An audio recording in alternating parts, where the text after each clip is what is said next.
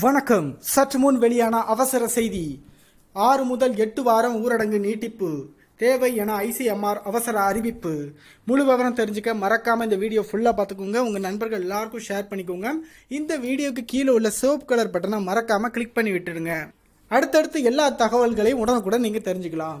தமிழகத்தில் பத்து ஆண்டுகளுக்கு பின் ஆட்சியில் அமர்ந்திருப்பதால் மக்கள் மத்தியில் கெட்ட பெயர் ஏற்பட்டு விடக்கூடாது என்கிற எண்ணத்தில் முழு ஊரடங்கை கடுமையாக அமல்படுத்த திமுக அரசு தயங்குகிறது. கோவை மாவட்டத்தில் ஒரு நாள் கொரோனா பாதிப்பு ரெண்டாயிரத்தி ஐநூறை கடந்து விட்டது மாநகராட்சி பகுதியில் தான் பாதிப்பு அதிகரித்து கொண்டே செல்கிறது. தொற்று பரவலை கட்டுக்குள் கொண்டு வர இருபத்தி நாலாம் தேதி வரை முழு ஊரடங்கு அறிவிக்கப்பட்டு இருக்கிறது. அதே நேரம் வர்த்தகர்களின் பொருளாதாரம் மக்களின் வாழ்வாதாரம் பாதிக்கக்கூடாது என்று கூறி மளிகை காய்கறி இறைச்சி தேநீர் கடைகளை மதியம் பன்னெண்டு மணி வரை திறந்திருக்க தமிழக அரசு அனுமதி அளித்திருக்கிறது. ஐம்பது சதவீத தொழிலாளர்களுடன் தொழிற்சாலைகள் இயங்கலாம் என்றும் தெரிவித்திருக்கிறது.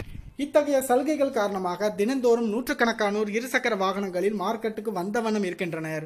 போலீசார் எவ்வித நடவடிக்கையும் எடுக்காமல் மௌனம் சாதிப்பதால் இரவு பத்து மணியானாலும் மக்கள் ஜாலியாக சென்று வருகின்றனர். இது தொற்று பரவல் மேலும் அதிகரிக்கவே வாய்ப்பாக அமைந்துள்ளது. கடந்த ஆண்டு மார்ச் மாதம் கொரோனா பரவ ஆரம்பித்ததும் எத்தகைய ஊரடங்கு அமல்படுத்தப்பட்டதோ அது போன்ற நடைமுறையை இப்போது மீண்டும் பின்பற்ற வேண்டும் என மருத்துவத்துறையினர் மன்றாடி கோரிக்கை விடுத்து வருகின்றனர். மருத்துவர்கள் மிகவும் சிரமத்திற்குள் உள்ளாகியுள்ளனர். அதே நேரத்தில் மருத்துவ பொருட்களும் பற்றாக்குறை ஏற்பட்டுள்ளது. ஆக்சிஜன் படுக்கைகள் இது போன்று.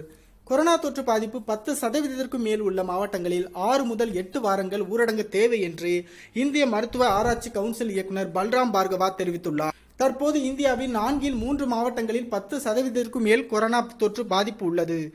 டெல்லி மும்பை பெங்களூர் போன்ற நகரங்களும் இதில் அடங்கும் என கூறப்பட்டுள்ளது.